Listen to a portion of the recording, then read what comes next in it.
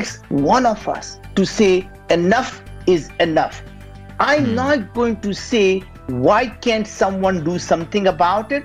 I'm going to say, what is it that I can do about it? And once you start to say, it is my responsibility, I can make a difference, everything changes.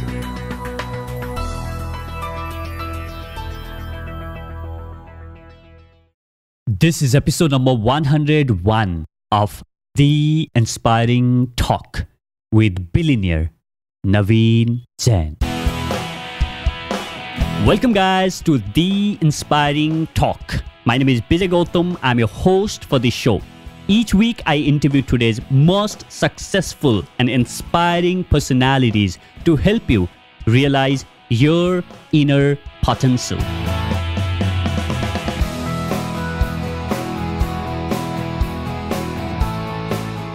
I'm very excited for my guest, Naveen Jain. Naveen is a serial entrepreneur and a billionaire who hails from a small village in the state of Uttar Pradesh. He went to IIT Roorkee and later moved to the United States. Naveen is the founder of several innovative companies like Viome, where he aims to make disease optional by understanding the gut microbiome. He also is the founder of Blue Dot Moon Express and InfoSpace. Naveen was featured on Forbes, Wall Street Journal, Inc., and so on.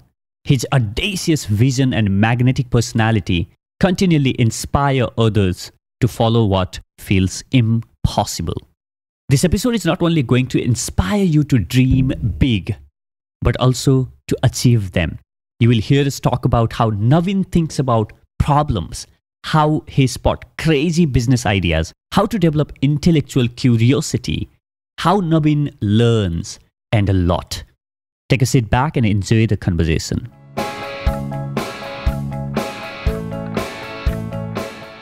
Welcome back inside this episode, guys. I am super excited to have with me here Naveen Jain. Naveen, thank you so much for joining me. Well, uh, Vijay, it's an absolute honor and a pleasure to be with you.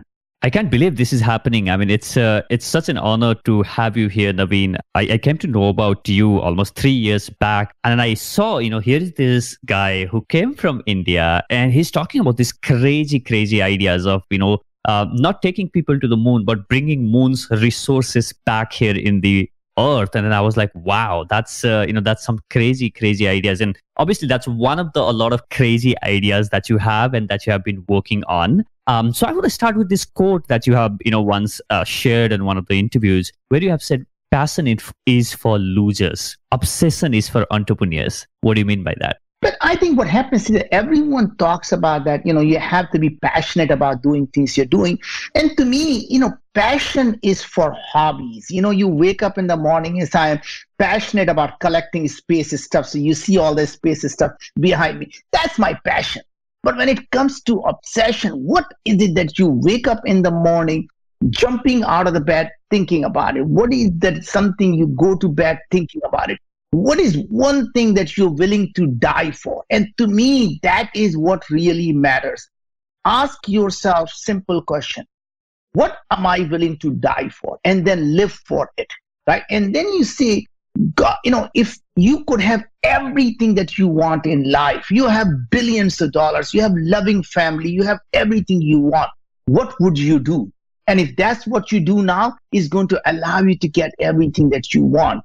And one simple way to know when you really are working that you're something that you're obsessed with is it doesn't matter what time you wake up. I get up at 4 a.m. every day. If you're not jumping out of the bed and still thinking about can I lie in the bed for another five minutes? Can I just put a snooze button? Find something else to do. That is not your obsession. People who are obsessed, they wake up wide eyed and jumping out of joy and jump out of the bed. That's awesome. So, what is it that's uh, you know pulling you out of the bed lately? What is that that you are extremely excited about? Uh, you know, as we are talking right now. You know, right now, my hundred percent of my focus is on really on chronic diseases. Because to me if there is one problem you know despite all this pandemic uh, that we see about covid and stuff you know this is once in a hundred years problem. The last pandemic was you know 1980 but the point i'm trying to make is now if you look at today there is an epidemic of chronic diseases. People are, you know, obese, diabetes, heart diseases, autoimmune diseases, cancers, Alzheimer's, Parkinson's, depression, anxiety. These are all chronic diseases. And what I mean by these chronic diseases are these are non communicable diseases. It's not something like you wake up in the morning and say, I think, you know, I might have caught diabetes today. It doesn't, you don't True. catch these diseases. You don't wake up in the morning and suddenly find you say, I think I became obese last night. You don't become obese, right? Yeah. And so my point is that to me is really, if you look at the humanity, if there is one problem that could be solved, if you could solve this problem, is going to help billions of people live better lives. To me, that is what you know. I go to bed thinking about it. That's what I jump out of the bed thinking about it. Is that how do you solve this problem? And I'm going to you know give you a little bit more about the framework that as you talked about these audacious ideas, these moonshot ideas. How do you go about thinking about them and then actually making them real? True. Yeah, awesome. So I'll get into that in a moment about the you know moonshot ideas and how do you think about that but before i talk about that you know naveen you come from a small village in UP yeah. uh, with a you know very humble beginning like a most of yeah. you know people who are listening to this podcast and you know a lot of us and uh, what made you dream this crazy big in your life? Like how did you develop this mindset right? So uh, please uh, you know talk about that right? You you were the kid who was there at IIT Roorkee, you know, studying engineering, and then now here you are with all this. I mean where was that? Remember particular incident where you said okay you know what? I want to do something big or it's uh, like a, a lot of ideas after ideas and then it's uh, over the period of time yeah so life is really a continuum i mean you know a lot of people somehow believe there is this magical thing that happens one day it's rarely that it is things build on top of each other and they slowly slowly keeps building and as people say, it's the last straw that breaks the camel's back. And it's like always the last thing you remember and say, oh, that's it. And the answer is that is never it because you have been really thinking about it for the longest time. You know, as you mentioned, you know, came from in the villages in India where people were told not to dream because, you know, to dream meant failure. Dream meant something you can't achieve and that it brings you black mark in your you know not just to yourself but to your family you know like look at that crazy guy he thought he could and look at now his dad is in debt because that crazy guy burned everything he had right and yeah. my point is we are so afraid to fail that we we fail to live right because we always worry about what if it doesn't work and we never live our dreams and in fact if you would you know if you ask me you know, countries like India, if you want some of the brilliant, most brilliant ideas, you can find them in one place. We call them graveyards, right? I mean, the hmm. best ideas died because no one ever took them out of their brain to go do something about it. And, you know, so to me, it is never, it is not about who you are. It's not about where you are born. It's not about how little you have. It is about you wanting to make a difference and make a change, and everything will come to you. I mean, if you look at Elon today, I mean, I remember Elon, you know, you go back, Elon was almost bankrupt. Elon was living in his friend's couch with no money. And today he's one of the top 10 richest person in the world. Why? The crazy idea. The guy said, mm. I want to build an electric car. No one told him that not even there is no car company that has been created in 50 years, let alone a electric car company. But the crazy guy thought it could be done, right? My point is, it takes one of us to say enough is enough. I'm hmm. not going to say why can't someone do something about it.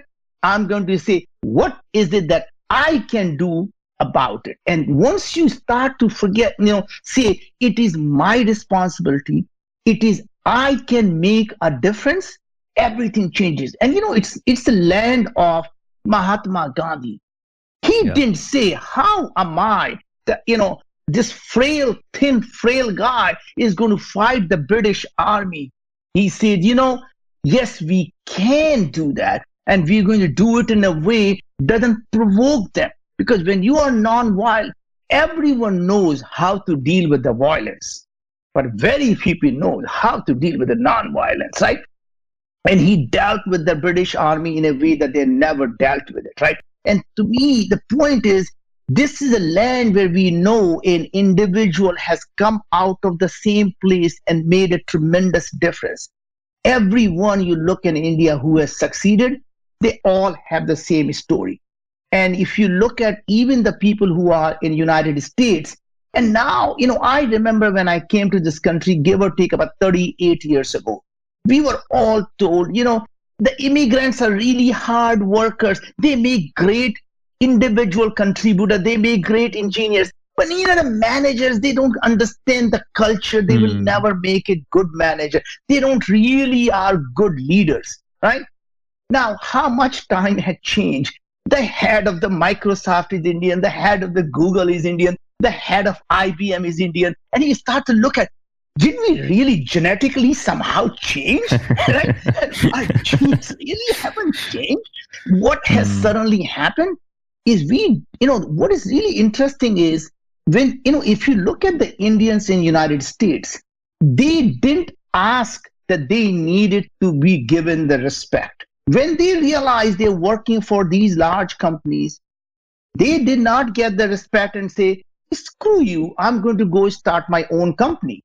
And when mm. those companies did really, really well, these large companies bought them for billions of dollars. Suddenly, the guy who wasn't a good leader now became a good leader because we didn't wait for someone to tell us we are a good leader. We proved mm. it to them we are a good leader. So, my point is don't tell someone, hey, you are a racist, you're not giving me the respect. You earn respect by doing it, not for asking for it, right? When you go out that. and day in, day out, kick someone's ass, they're going to start respecting you pretty nicely. Oh, I think that's a very, very, you know, powerful lesson, right? And it also tells a lot about like where do you want to focus, right? Do you want to focus on fighting or do you want to focus on like putting your head down and doing the things so that, you know, you earn it, right? I love that. You know what? I'm very, very fascinated by the way you think about the problems and uh, and how you look at solving them, right? So I'd like to understand uh, what goes on your head when you see a complex problem which a lot of people think is impossible to solve? And then how, how do you go about like thinking about like a really complex problem? Yeah. So actually it's really interesting. There are a couple of frameworks i would give it give you because i really think so if you look at something like for example let's say you know people say going to the mars it is very difficult. It cannot be done. You cannot go do that right instead of saying it can't be done, if you were to just simply reframe that question and saying, what technologies need to be true or have to happen before this happens? That means if you're going to land on the moon, what are the steps that need to happen for it to be possible? So, number one, we have to be able to find a way to get out of the Earth atmosphere into the stratosphere. Great. You need a rocket. Got it. Check mark. Somebody built that already.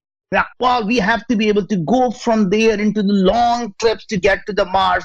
That may take six months. Is it possible? Okay, so that is already being done. That problem has been solved. Then how are you going to descend because there is no atmosphere? It's going to come down really, really fast, and there's seven minutes of hell. How are you going to deal with that? And my point is, you start to go down and saying, okay, once we land there, what needs to happen? When we need to have if people for in people to have food. How are we going to get the food? Well what if the food is not the problem? What if we really need to ask a different question there? Instead of saying how are we going to grow the food on the mars? Instead ask the question why do humans need to eat the food? Oh, right? wow. because just by simply saying if you were to say how to grow the food on the mars the only solution is to grow the food. But if you were to just simply say why do we eat food and someone for a second will say, What do you mean? It's like, why do we eat food? And you say, Oh, because we need we eat food because we need energy and we eat food because we need nutrition. And you say, Oh, can we now get the energy in many ways? Can we get energy like many bacterial species that grow in radioactive nuclear waste? What do they do? Not only they have learned to protect their DNA from the high radiation, they've also developed the system that actually uses radiation as a source of energy. Now, can we take the genetic material from those bacteria, use CRISPR to modify our own genes, And now suddenly we can get energy from radiation. Could we use photosynthesis like plants do? Plants wow. can survive in the sun. So can we use the photosynthesis to get energy? Now, what kind of nutrition do we need? Well, we need hydrogen, we need oxygen, we need nitrogen. Well, guess what? If we can find water, won't that give us hydrogen and oxygen? The nitrogen thing is interesting. Maybe there is a nitrogen on the Mars. If not, let's figure out how we're going to carry enough nitrogen. But now the problem of living on the Mars is simply about finding the nitrogen or taking the nitrogen. Then you say, wow. well, that problem can be solved, right? And so you take these very complex problem, you break it down into steps and say, ask a different question that anyone mm. else is asking. And I think that is a fundamental way of taking any complex problem and breaking it down. And by the way, the same thing applies to any uh, anytime you start a company. Those are exactly the framework I, you know, I tell people I go through myself. So when I start any company, uh, Bijay, I ask myself three questions: Why this? Why now? Why me? And there is a reason for doing that. Why this is the first question you have to ask yourself is God forbid, if this I'm actually successful in solving this problem, it, would it actually help a billion people live a better life? And the reason I say that is because if you can help anytime 100 million people, million people, billion people live a better life, whatever that means, you can create a billion dollar company, $10 billion company, or $100 billion company. So if you focus on finding a problem that is big enough that helps people, you can create a company. You never go out to say, I want to create a $100 billion company. You say, I want to create a company that helps a billion people because that's how you get there. The second part of the problem is why now? And the why now really is about what had changed in the last two years, three years, five years that allows you to solve the problem today than it would mm have hmm. been done, say, decade ago. And the reason for that is if nothing had changed and it's the same technology, then you have to believe that you're not the smartest guy in the world. Somebody would have solved that problem. So you have to really see what has really changed now that either that makes the problem more relevant today or that allows me to solve the problem. And I'll tell you how I applied all these three things to uh, uh, the company I just started, right? So in this case, when I started Viome with a simple uh, idea, what if we can create a world where being sick is a choice? That means, can we actually prevent and reverse chronic diseases by understanding what's happening inside the human body? So, to me, why you know why this was very simple. God forbid if it, we are successful in doing, there will be seven billion people whose life would be better because of this solution. So why this was check mark? Why now was very interesting. He said to solve this problem, there have to be three things that have to happen the cost of digitizing the human body because unless you can understand every biochemical activity in the body you can't find the solution to it so you have to digitize it digitize means you have to be able to sequence everything in your body that means cost of sequencing has to come down from $10000 to $1000 to $100 to $10 and i saw that happening three years ago. But that time the cost was 100 i knew it was coming down to 10 today we sit down at $10 right? So point was that was happening. And then we said, wait a sec, if you can digitize the human body, there's going to be massive amount of data. Is the cost of computing that data is going to be cheap enough that we can actually work on it? Because you're not going to have access to supercomputers. Guess mm. what? AWS was starting to come along where you could file, fire thousand cores at literally a pennies in the night, and you can have a massive amount of computing powers. So see, that is check mark. The last part is now you have all this data that you have processed. Is there going to be powerful enough artificial intelligence that can make a sense of all this data? And that was pretty obvious that AI is becoming more and more powerful. Check mark. Those three things were happening. I say, you know what? Time is now. Now, the last part is why me? And why me has two parts. Am I truly obsessed about solving this problem? The answer was yes.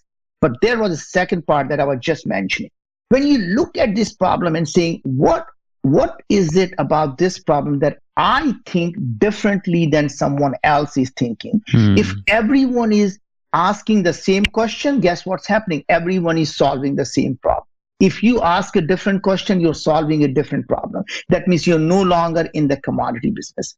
So once I started to learn about this thing and saying, you know what, I'm starting to see a lot of research showing that chronic diseases are happening because of something that's happening in the gut microbiome. I don't hmm. know what that is, but seems to me something is magical happening in the gut microbiome. So I'm going to find what is going on. And then I say, wait a sec, if everyone believes that is where the problem is, and there are tens of companies looking at the gut microbiome, why is this problem not getting solved? And that means mm-hmm. either I'm a moron or this problem is like somewhere else. And to me, mm-hmm. what was, wait a sec, what are the questions these tens of companies in the microbiome space are asking? It turns out they were asking the same question. They were trying to find out every single organism that is in the gut. And they thought once they knew what organisms are there, they'll be able to find out what causes the disease. Mm. My thought was, look, I don't understand that part, but what is very clear to me, it can't be what the organism what the organisms are there. It has to be what they are producing because our body doesn't care who is there. Our body cares about what chemicals are being produced because that's the only thing it can sense. So I mm. say, what if hmm. our focus is going to be on what they are producing, not who they are. And partly in my mind, it came from the fact I say, what if these organisms are like human beings? They could be 100 different people doing exactly the same thing. So you can look at two people with diabetes, completely different organisms, but doing mm. exactly the thing that causes diabetes. What if that's how like that is? Or, or the same organism in your gut may be doing something good, but in my gut, in the ecosystem it is in, it is challenging to it and it's producing something toxin, just like human beings, right? Mm. When you hmm. are with a friend, you could be having fun. You go into a mob, you become totally different person. You are at work, you are a different person. You are at home, you are a different person. What is changing? Not the person, but the environment. Right. So mm. what if the environment was the key and we should focus on what they are producing? And that allowed me to say, you know what? Your genes. And another thing, by the way, the reason I focused on that was it was clear to me that your genes don't change when you develop chronic diseases. So from the time you're born, you, you have a DNA. Now, just because you gain 200 pounds, you can do a DNA test, it's still the same. When you become have diabetes, your DNA hasn't changed. So your genes are never changing, whether you go into remission of a disease or you go into relapse of a disease. Your genes are still the same. So it has to be gene expression that is changing, not the genes, because gene expression is what makes us who we are. And that simple thing, not knowing the, what is going on, as an entrepreneur, my job is to ask the question, not have the answer. And once I say, look, guys, we need to be building a technology that will allow us to see what they are producing. And we need to be not focusing on the genes, but their expression people say, "Oh, you mean you have to do the RNA testing?" And I say, "Well, that's the one, right?" And, I know, but that's the I one. Don't know, but that's what we need to do. That's what we're going to do. And they told me it cannot be done. This is impossible. And I said, "Well, that may be so." And then eventually we found the technology does exist at Los Alamos National Lab, and we found the technology. We licensed it, and we created a company. But point was that simple. Why this? Why now? Why me? Is really the same framework you can apply to almost every single thing you do. And then you can take a very complex problem, break it down into simple specifics. And you know, a lot of people ask me that, you know, what are these genes and how do you know how can you possibly say that genes don't matter? And I say, look, genes are like your thoughts, right? You can have good thoughts and you can have bad thoughts. As long as you don't express the bad thoughts, there is no crime. You can have all hmm. the bad thoughts in the world, just don't express them, right? The same way with the genes. You can have good genes or the bad genes, but don't express the bad one. You're just fine, right? And that is literally the key is to find a way to get the right precise nutrition that will allow you to not express the bad one and get more of the good ones to be expressed. And that's literally what Viome does. I mean, that's literally what we do. We analyze your body. After analyzing your body, we say, don't eat this food and why eat this food and why. And by the way, your body needs 22 milligram of elderberry, 11 milligram of lycopene, 7 milligram of curcumin. And guess what? We can now package them in a capsule and we can ship it to you just made just for you at that time. So literally mm. precise supplements that are designed for you as an individual. And every wow. month, as your body changes, we redesign them for you. I mean, my point was now you are able to measure what is happening. We're going to give you what you need. And when you do a retest, you can see all the improvement. There is no longer, believe me, trust me, have faith in it. You can see the results for yourself. Wow. That's really, really incredible. So, um, before I move forward, I want to close this here. So, you know, you mentioned a lot about uh, developing this ability to ask different questions, right? So is this something that you have this natural ability, or this is something that you have, uh, you know, practiced over the period of time? Like, let's say a lot of people, you know, oh, you know what, for, for a lot of things that you have shared, right? Even that example that you gave about the Mars, or even this, uh, you know, the whole thing about making disease optional, the kind of questions that you're asking, and a lot of people will be thinking, wow, I have never thought about that that way. Right. So how does how does one develop this kind of ability to ask different questions in the first place? One is to look at the industry that you are you know nothing about. So the main thing is most people tend to think that the only problem they can solve is in the, what they have expertise in. So they believe if they don't know anything about it, that's the hardest problem for them to solve. To me, that is the easiest problem because I am not bounded by anything that uh, the experts have taken it for granted. Because you don't know the uh, limits and the rules there. I don't know the mm. limit. I don't know what what why it can't be done. So I get to say, like that is literally the challenge. Me is I ask my scientists, "Oh, that won't work. Help me understand why won't that work?" And by the time they start explaining, they say, "You know, let me think about it. I think it just might work." And they say, "Tell me why it might work." And by the time they literally get done, they say, it's a brilliant idea, right? The point is because you keep never, because you find out. And if, and there are times you're going to say it doesn't work and here's why and say, so how would you make it work? So let's assume it doesn't work, but what needs to happen for it to work? And then you keep drilling and you say, you know, for it to work, you have to be able to do that. Let's go find out if somebody can do that. And hmm. to me, it is really about never ever thinking it can be done. Find out, ask yourself what needs to happen for it to be possible. And that's how you go about poking around to see where the weak points are, where you know you can actually make a difference. Wow.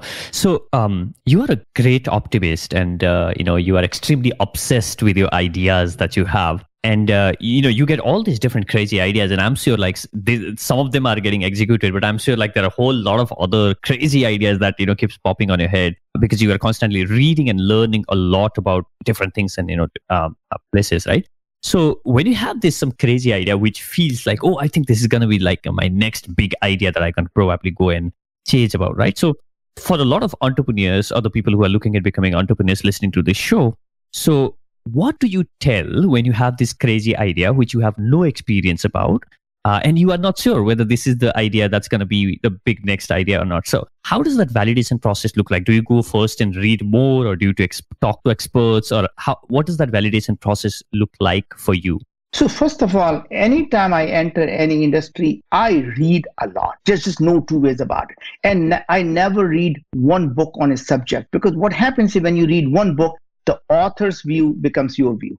If you read mm. 10 books, then you have 10 different perspective on the subject, and then you can create an 11th view, which is your own, right? So you say, oh, he's thinking this, he's thinking this. What if you connect the dots together and what if this was possible, right? Then I read a lot of research papers because what happens is the research papers tells you that where the trends are, what's the most cutting edge stuff that people are starting to talk about now. And when you start to look at that, you see, this is what is going to be coming out in five years where people are going to be talking about it. So, four years ago, when I was reading the research paper, everybody in the research was talking about microbiome, and there was nobody in the main press was talking about microbiome. Now you can pick up a GQ magazine and they talk about microbiome, right? Which That's is really correct. surprising, right? So, my point was, it is not something I had a crystal ball. I was reading this research, and by the way, same thing happening now. I'm now starting to see the same type of thing for the oral microbiome. The, what's happening in our mouth cavity has more to do with our disease than anything else. And there's a wow. lot of research that's starting to come out. So, like my mother used to say, chew your food. She was a scientist. Mm. She knew that those microbes in your mouth are going to process the food and compose them for your body, right? So, point mm. is that when you start to read research, you know what is going to be out there popular in the next four years. You start to see where the world is headed. So, to me, so I read a lot. And the second thing, what I do is I am never afraid to share my ideas. A lot of people who are entrepreneurs, they always feel, oh, what if he steals my idea? Point is, the more you share, the more people give you feedback and more your idea gets better. So if you talk to 10 or 20 people, you will people will poke holes at it and you say, you know, I didn't think about that. I didn't think about that. That's an interesting question. And guess what? You keep improving on that idea. And when you get to a point where you start to build the conviction that you say, you know what? I think there is something here, here. And then you go out and you never stop. That means now the next thing you need to do is to the crazier and the more audacious the idea, easier it is to become executing executable. And here's why. When mm you have a, an idea that can help a billion people, guess what happens? The best and the brightest in the world want to work on that problem. The good thing mm now is you could sit in India or you could be sitting in uh, in any place in the world in this world, remote work, I mean, it doesn't matter where you are. You could be sitting in California, you are in India, it makes no difference. We look exactly the same. So, point is, now you have access to the best and the brightest people around the world. You have access to the same literature, same technology, same uh, science reports that anyone else in the world has. There is nothing different whether you are in, in any part of the world. Third is the capital is not patriotic. Capital mm. goes where the opportunities are. You create an opportunity in India, there's going to be a $10 billion company in That's India. That's true. And yeah. people used to say, oh, nobody, no company in India will ever be $10 billion because people just don't believe. That's not true. Now you look at the things yourself, whether it's a Flipkart yeah. or whether, you know, pick a name you want. All these companies are being created because once you create opportunity, money comes. And I think mm. I hear the same problem in Europe. People say, oh, you know, in India or Europe, you know, people who have money, they want simple problem. They don't want us to have audacious ideas because they will never fund it. And when I talk to the people who have money, they say people here just have small ideas. They just don't have big ideas. That's why we don't fund them.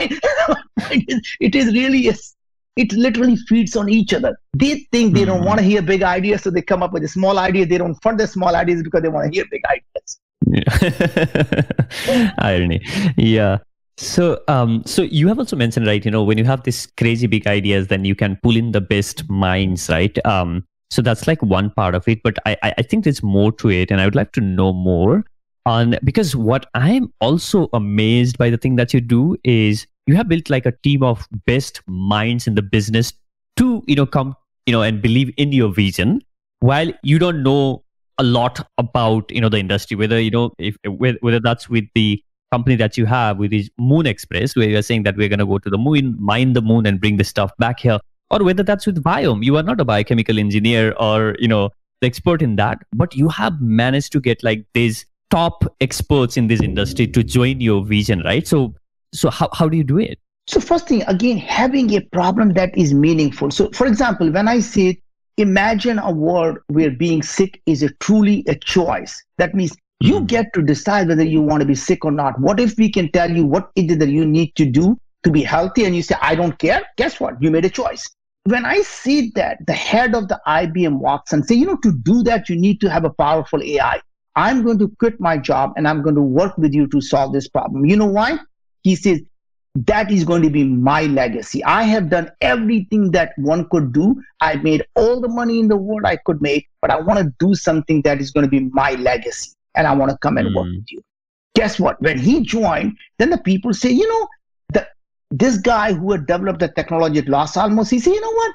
I know my federal job is really, really secure, but someday in life I have to look back and think, what did I do? I'm going to just quit the damn job and I'm going to come and join. Now I have two mm. great people that, you know, at Human Longevity, these are the guys working with Craig Venter. These are the people who invented the genes, right? Craig Venter is the father of human genomics the whole team. See, you know, genes. I'm convinced what you're right. Genes don't matter. It's a gene expression. I'm going to quit this gene. Spending my life on the genes. I'm going to come and help you do the gene expression work. And now I had all these people. Guess what? Every VC calls and say, "What are you working on? Why are all these people coming and joining you?" And the more you tell them you don't need the money, it is like you know having a red flag in front of a bull. They charge? You have to have my money now, right? So my point is suddenly yeah. everybody gets interested. And now you have the resources you need, you have the team you need, and you start to, you know, basically snowball starts to roll down. And that's really how you take the most audacious ideas. And part of it is, you know, uh, obviously I have a great track record, you know, but guess what? The track record was built by doing it. Track record wasn't built Absolutely. by having a track record. Yeah. So my point is, the first company I started, I did it. It's not like I had a track record at that time. So point I'm trying to make is that go out and do it. How many first-time entrepreneurs? Look, Mark Zuckerberg, first-time entrepreneur, got was 200 billion dollar company. Right. My point is, this is so easy if you start to look at WhatsApp. You know, 20 billion dollar first-time entrepreneurs with no money on food stamps. Right. So mm. you know, point is, and they were two people from Ukraine who didn't have any money. So it doesn't take, you know, it's not like you have to be rich. It's not like you have to have a track record. It's not like you have to know a lot of people. The good thing is the social media allows you to get your message out to as many people. You and I can talk about something. Next thing you know, there'll be 100,000 people listening to it. And someone would send me an email and say, Hey, I really have this great idea. Can you help me with this? Right? Yeah, that's correct. That's so true. Um, so, what's your advice to the kids who are growing up in India and maybe in one of the IITs or just starting out in their life? What would be your advice to them? You know, never be afraid to fail and constantly keep dreaming. Don't let someone tell you that you can't do it, right? And part of it is me says that, you know, fall in love with yourself. And I don't mean to be self conceited. What I mean by that is don't look for someone's approval. Don't look to say, how you know someone to tell you how smart you are how handsome you are how it doesn't matter what they think of you. What matters is what you think of yourself. So if today i walk and someone say you know you're really really stupid and my answer is you know thank you very much. I hope you'll get to know me someday better. And please i hope you find a peace in yourself because you probably don't love yourself to hate someone else right? Because sure. when you love yourself you can't hate someone. And when you hate yourself you hate everyone else right so my point is, it is very hard for people who are just in love with themselves to come out with anger and hate. And this idea of he made me angry, he made me frustrated. The answer is you and I both know in the Eastern philosophy, no one does anything to you. You do that to yourself. You make yourself angry. You make yourself frustrated. No one else can make you frustrated. Awesome. So, where do you see this world in next uh, 15 to 20 years with, with, these incredible things happening around? Like, what's what's your predictions about another 20, 15, 20 years? Well, the interesting thing is, Vijay, that you know we are living in one of the most innovative times in the human history. I am so absolutely true. convinced the next decade is going to be the decade of innovation. If I may make a prediction, I would say in 10 years we will get rid of most of the chronic diseases, including cancer and that wow. is really, yes, in 10 years, our grandkids and the kids and the grandkids are going to be saying, Dad, Grandpa, in your time, people used to just die because we couldn't figure out what was going on. You mean people just had diseases and you didn't do anything? You mean people just lost their memory and you thought that was just okay? Hey, what kind of generation was that, right? and but it doesn't mean they don't have any problems. They'll be solving the problem like why do we have to talk to communicate our ideas? And honestly, if you think about what we are doing here, this is 20 years ago when we used to have modems, where a 300 yeah. baud modem where you would dial into a phone line and there'll be a tiny bandwidth that you can actually use to get to the internet. This True. is what we are doing. We are using a 300 baud speech to communicate mm. our ideas in their thing, they'll be thinking, why can't I just connect the brain to everyone and they can upload my brain and my thoughts? I can just look at them and just communicate my ideas. Can I subscribe to your brain so that as you develop new ideas, I can just upload them and I'll pay you a monthly fee for it, right? Wow. wow, that sounds that sounds crazy. Um, it's not crazy. My point is it is starting to happen now. I mean, look at Elon is doing Neuralink, and there are a bunch of people who are looking at computing the brain to the computers. Guess what's happening? Suddenly just even the idea of like my mom would say you can't be in two places at the same time what does it she mean by you can't and the reason is because she feels what does it really mean to be in a place we have these sensors called eyes and ears and the smell and the touch And that's what tells us who we are, where we are. And our brain doesn't know where the signal is coming from. If what if the signal could be coming from uh, in Mumbai, and I think my brain thinks I'm in Mumbai, and the signal mm-hmm. comes from Atlanta, my brain thinks I'm in Atlanta. What difference does it make to the brain? And what if it is asynchronously communicating with you, and you can be in two places at the same time, literally having the same feeling as if you're there? Wow.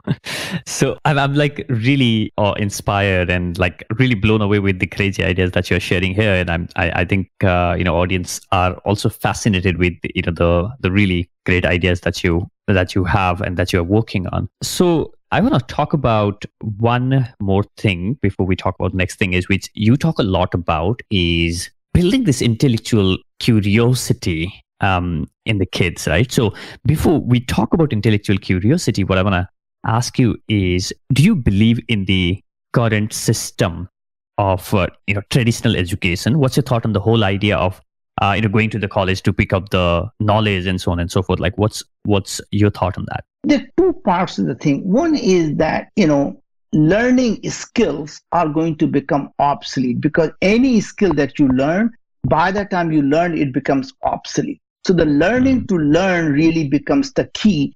And having what I would say is vocabulary in different areas is really good. So to me, the education really means having a broad based knowledge of various areas. So you have the basic vocabulary. So when you read a science paper, you say, oh, now the research shows that DNA can be modified using CRISPR. You say, oh, that DNA, I get that now.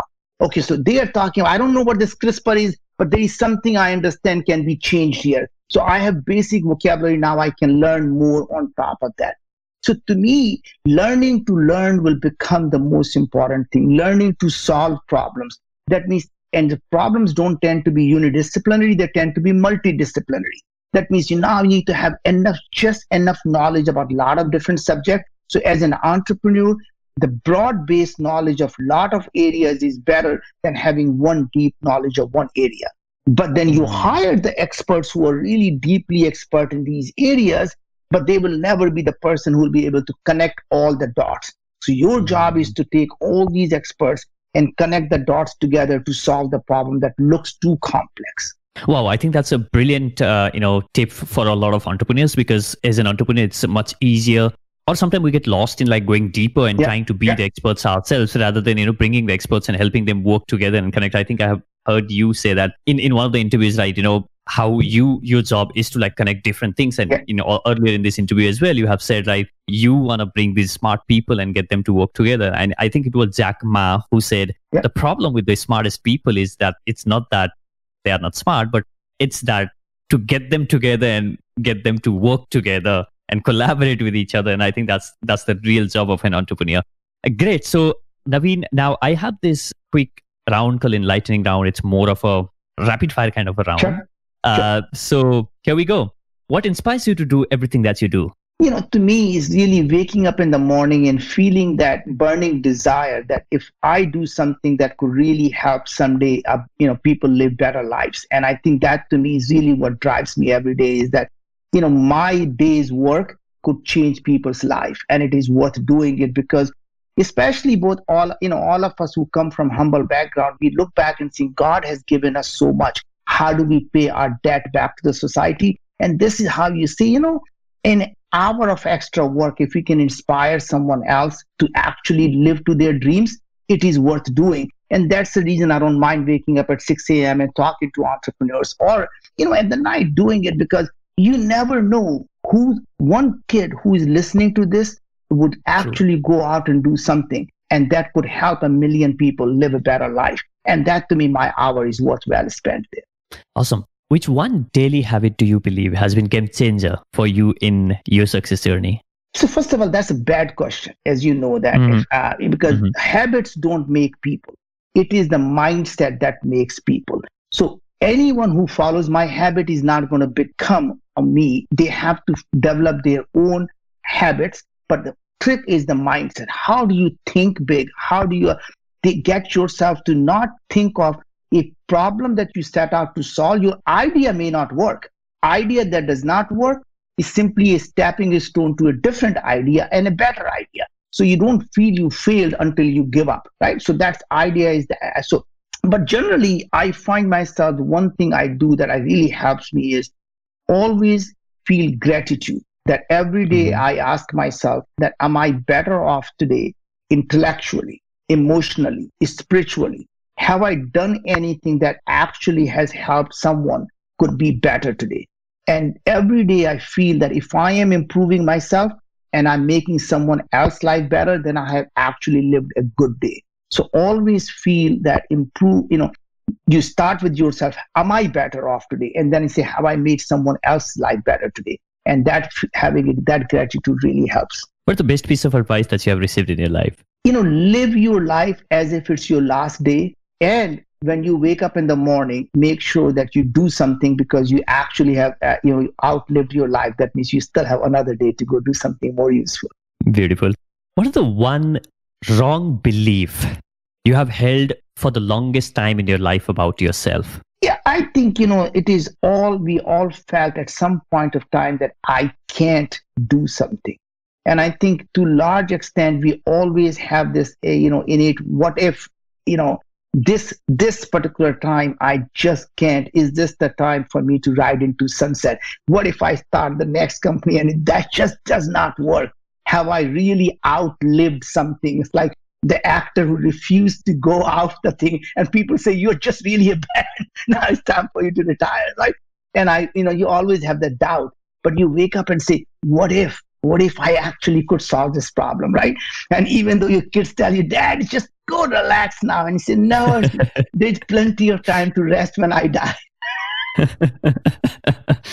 so I mean, I, this is one follow-up question which I usually, I mean, in the lightning yeah. round because you have shared this interesting thing, right? So you have said like, you know, for the crazy visionary like you, right? So who have these crazy ideas, right? And then is it like the bigger the problem, is it the bigger does it take like bigger effort for you to cope up through it? Or how do you how do you convince yourself oh okay i mean it's totally fine but still there's a lot of lesson. How do you how do you go about coping up with the failures? Well so the thing is you take a large problem and you divide them into smaller pieces and you're always working on a small piece but you never forget your north star. So the idea is you have your vision you have your north star and you're starting to take it one mile at a time and you're going to keep moving forward and know that even if you don't reach your destination, it is okay because someone else is going to come behind you who is going to pick up the baton and is going to stand on your shoulder to get, take it across the finish line. But the problem will get solved. So, God forbid if you're not successful, but you know you have pushed the humanity forward for someone else to be taking it across the finish line and you still contributed. Awesome. What do you want to be remembered for? You know being just a great father and you know uh, and someone who actually made some difference in people's lives. You read like crazy and you read and learn a lot. I'm sure it's going to be not easy one for you but could you share a book or two that has influenced you personally in the recent past which you would recommend a lot of people? Uh, and maybe especially on the you know on the thinking or maybe questioning everything on on those lines I mean, I hate to say it, but you know, on the uh, in terms of mindset thinking, the book that I wrote called Moonshots, uh, that mm. is uh, forwarded by Richard Branson, is really a book about how do you look at sustainability, why the bigger problems are easier to solve, how do you go out and develop a mindset of abundance, how do you get rid of this idea of if you win, someone has to lose, or if someone wins, you lost. The idea of there's more of everything you can create rather than has to be a zero sum game. So I would just say that's probably a great book to read. um, so if you were to start this journey all over again, hmm? what are those three things that you would, you think that you would have done differently? Um, none, none, not not one. And here's why: if you change anything that I have done in the past, it will change the trajectory of where I end up because it's like every single thing you change, it actually takes you on a different path. I am just so happy with life where I am. I would not want to change one iota of thing because if I change one iota of a thing, I would be a different person today. Awesome. All right, Naveen. So I have got one last question. Okay. You know that I would like to ask you before we end this, but um, I would like to thank you so much for taking this time, and it's been incredible, incredible having this conversation with you, and uh, it's always great pleasure in listening to you and share these big ideas, and uh, it makes myself believe more in me, and I'm I'm sure that's what you know that's exactly what it's going to do for a lot of people who are listening to this podcast. So you know before i ask you that question if people would like to reach out to you or learn more about you know Viome by the way when are when are you bringing Viome to india? You know very soon honestly that's my number one thing on my list to do is to just bring Viome to india because there's so many people who could benefit from it. So that is i keep telling my team that's got to be the next thing we do. So I keep I'm checking your website, next- by the way. Like for the past three years, I think at least a dozen times I have kept checking, like, you know, 30 is it available in India? honestly before the end of the year i'm going to push it to make sure this happens Awesome. That's such a, that, that would be like, you know, a great thing because as I said, right, I've been patiently waiting for this because now I have also come to believe after, I think it was your, one of the conversations back in 2017 where I listened, right? I think it makes, he's making a lot of sense about the gut mic, you know, uh, uh, microwave. And, uh, you know, the more we go through like the, the, just before this one, uh, I had um, somebody from Deepak Chopra's, uh, Yeah. you know, somebody who has worked with Deepak Chopra, Dr. Suhas Kshirsagar, who is a, you know, terrific Ayurvedic doctor.